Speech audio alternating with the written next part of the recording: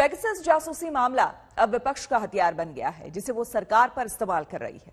दिलचस्प बात यह है कि कांग्रेस सांसद राहुल गांधी ने सरकार पर हमले में इस बात पर ज़ोर दिया कि सरकार ने नागरिकों के फ़ोन में हथियार डाल दिया है। राहुल समेत पूरे विपक्ष का आरोप है कि संसद में पेगासस जासूसी पर बहस ना कराकर सरकार सवालों से भाग रही है। दूसरी तरफ़, पेगासस जासूसी मामले को पहले ही साजिश का हथकंडा बता चुकी सरकार ने विपक्ष पर जनता के मुद्दों से भागने और संसद को ना चलने देने का आरोप लगाया है। सरकार और विपक्ष दोनों का रुख सख्त है और संसद में गतिरोध टूटने के आसार नज़र नहीं आते। धन्यवाद अध्यक्ष महोदय। मैं मंत्री जी को बधाई संसद के मानसून सत्र का हंगामा तो सरकार के लिए आउट ऑफ़ सिलेबस हो गया। लेकिन मैं यह मंत्री से मैं सरकार की तैयारी थी कोरोना पर विपक्ष का जवाब देने के लिए लेकिन विपक्ष के प्रश्न पत्र में पेगासस से जासूसी के सवाल हैं। आगे की कार्रवाई संसद से सड़क तक विपक्ष ने पेगासस जासूसी मामले पर मानसून सत्र का एक भी दिन शांति से गुजरने नहीं दिया है। No placards no placards ये सेक्रेटेरिएट और तो और संसद से सड़क तक सरकार को कैसे जासूसी मामले पर घेरा जाए इसकी रणनीति तैयार कर ली।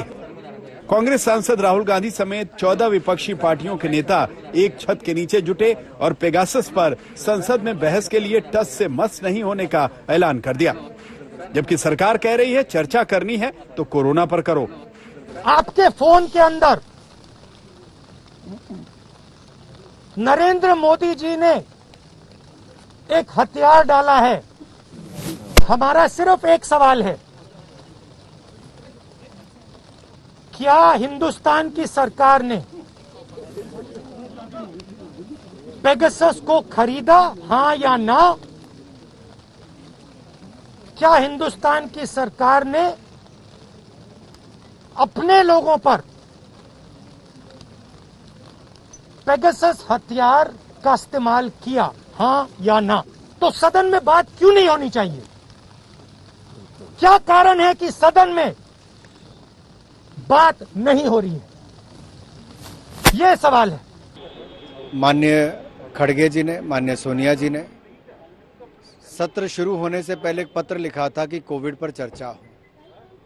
सदन बुलाने की बात भी कही थी। और सरकार ने तो सदन जब से चला, पहले दिन से माननीय प्रधानमंत्री जी ने कहा कि सरकार चर्चा के लिए तैयार है।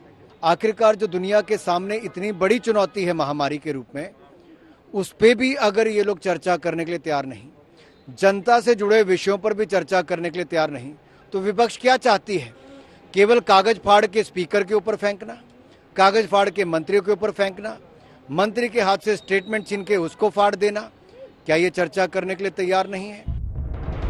सरकार और विपक्ष की ये लड़ाई कितनी गंभीर है इसे दोनों ओर के तेवरों से समझ लीजिए। राहुल गांधी ने पेगासस जासूसी को राष्ट्रवाद से जोड़ दिया है। जो हमारी आवाज़ है। जबकि सरकार पहले दिन से कह रही है जासूसी का ये मामला सिर्फ़ साजिश है।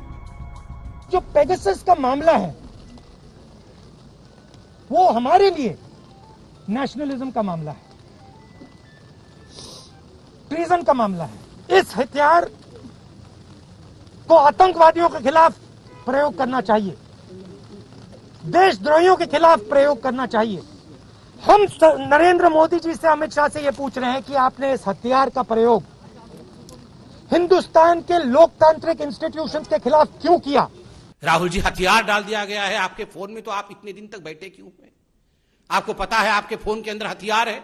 आप हथियार निकालने के लिए फॉरेंसिक डिपार्टमेंट गए आप पुलिस थाने में जाके हथियार निकालने के लिए एफआईआर किया आपने? कोई हथियार नहीं है।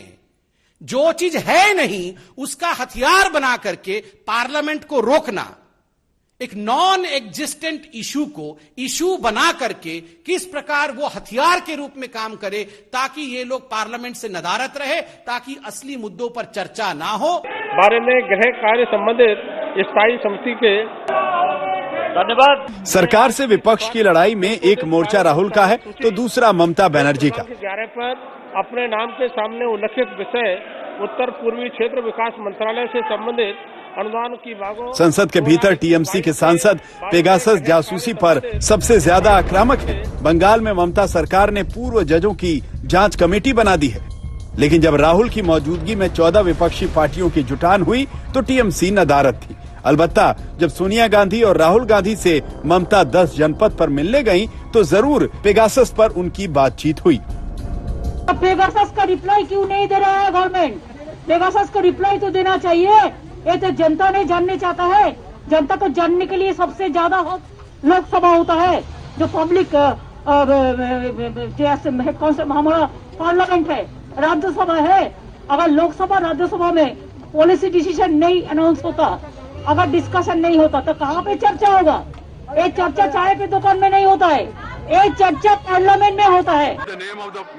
वैसे जब पेगासस जासूसी को लेकर सरकार और विपक्ष के बीच संसद में तकरार है और संसद में व्यवधान पड़ा है तो इस बीच सरकार ने शोर शराबे के बीच भी विधायी कामकाज निपटाने का दांव चल दिया 26 जुलाई को तीन बिलों को सरकार ने लोकसभा में रखा।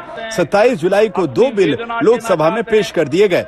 27 जुलाई को राज्यसभा ने marine aids to navigation bill 2021 pass कर दिया।